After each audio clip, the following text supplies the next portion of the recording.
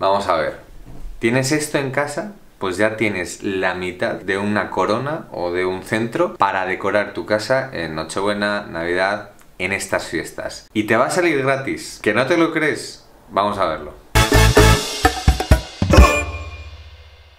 ¿Qué tal estáis? Todavía no superáis mi corte de pelo, ¿no? Por lo que me contáis por Instagram. Bueno, pues yo a ratos me veo raro también, pero está todo bien, perfectamente. A veces todo lo que sea decoración de Navidad sale un poquito elevado de precio y esta idea que os voy a enseñar ahora no es mía, no se me ha ocurrido a mí por arte de magia, pero gracias a compañeros de profesión la conocí y me parece que debería conocerla todo el mundo. Porque aparte de la típica percha de ropa, te voy a enseñar los materiales que necesitamos para que tú en una sola la tarde o en dos te montes una corona de decoración navideña. Muchas veces en las urbanizaciones se podan todos los setos o los árboles en general y todos esos restos de poda se tiran. Y ahí es donde entramos nosotros y vamos a cogerlos.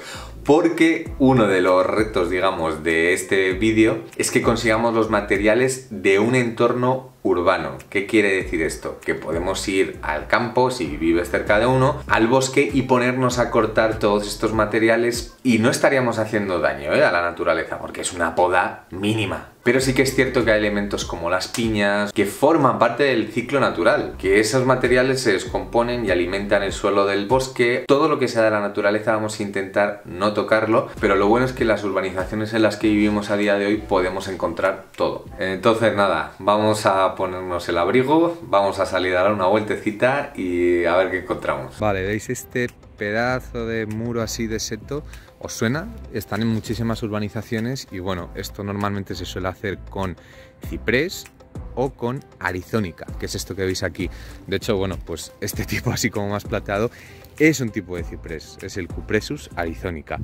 Y veis todas estas ramitas que sobresalen, esto se va a podar, o sea, esto tarde o temprano va a desaparecer. Entonces, antes de que lo tiren, esto que sale lo vamos a recuperar y lo vamos a utilizar para la corona. Eso sí, ¿os dais cuenta de que hay unas ramas un poco, a ver aquí se ve mejor, un poco más verdes que otras que están más marrones? Coged mejor las marrones porque las verdes al ser de crecimiento de este año puede que se pongan peor de aspecto mucho antes, sin embargo estas van a tener más energía y van a aguantar mejor. Con lo cual para casa. Esto también nos sirve, ¿eh? ¿eh? sobre todo si vivís en España, que es donde hay, bueno, en otros países, Latinoamérica y tal, la verdad es que dudo que haya, pero encinas, eh, alcornoque, coscojo, yo que sé, hay muchos tipos de árboles de este estilo que tienen hoja, bueno, pues son los que emiten bellotas, para que os hagáis una idea, ¿vale? Entonces todos estos también se pueden cortar porque la hoja se parece mucho a la del, la del acebo, que por cierto os hice ya un vídeo de cómo cuidar acebo, y estas, aunque sequen, van a secar de un color bonito, que va a parecer natural. Y por supuesto vamos a coger también pino. O sea, el pino yo creo que se puede encontrar prácticamente en cualquier parte del mundo.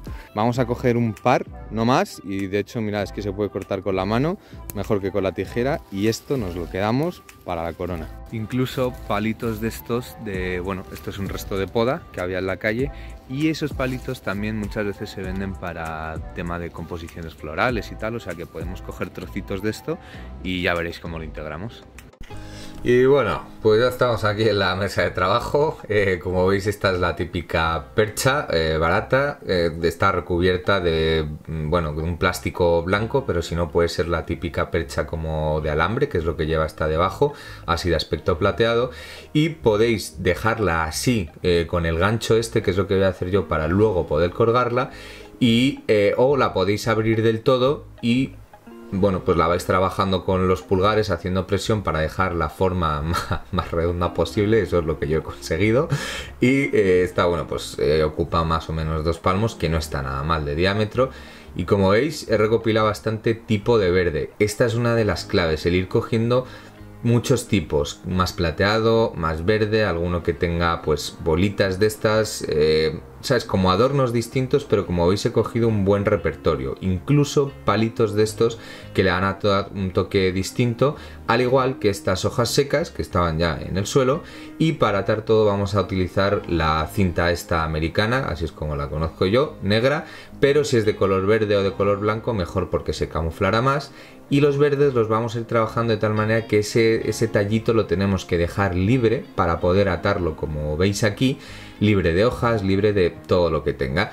Y vamos montando, como veis, con un par de pasadas de eso ya se mantiene totalmente, mirad, ahora la suelto y está totalmente firme, o sea que sin problema.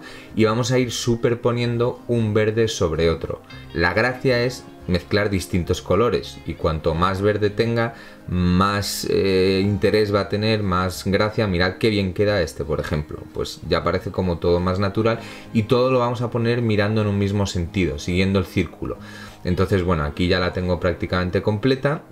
Todavía se ve un poquito de percha, pero si le dais la vuelta vais a ver dónde habéis abusado más de poner eh, cinta o no y si la queréis hacer como más contundente, más voluminosa, podéis poner por debajo también y así incluso se camuflará más todavía eh, lo blanco de la percha. Eh, aquí estoy poniendo ya el último detalle que prácticamente la cubre del todo, como veis ya no está nada mal, pero vamos a ir añadiendo pues eso, elementos de estos que, le dan como más interés, más gracia, como las hojitas secas, mm, podéis un poco lo que encontréis, igual piñas o lo que os he dicho, como las bolitas estas también quedan bien, algo que sea un poco distintivo, que no sea solo verde, pero eso ya eh, a la imaginación de cada uno, entonces aquí ya está montada con los palitos, como veis, los palitos finitos en alguno de los extremos.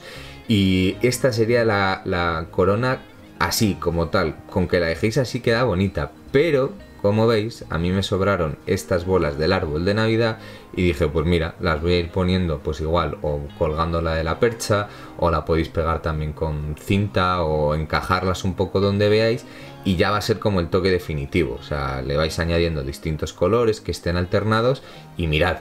O sea creo que no está nada mal lo que os acabo de montar en un minutito bueno, pues aquí tenéis el final de la corona. Por supuestísimo se puede decorar mucho más. Ahí lo único que queda al descubierto es el gancho de la percha.